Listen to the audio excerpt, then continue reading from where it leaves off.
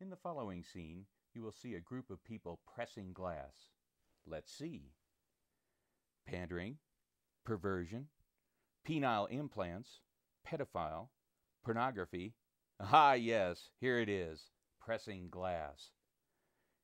The expression refers to the act of getting up at the crack of dawn to join other people who got up at the crack of dawn, to freeze their ass off while waiting in line to get first tracks on a powder day. This line forms at the glass doors of the gondola building on snowy mornings. Sometimes Griswolds, I mean tourists, try to press glass with the locals. This is a discouraged practice.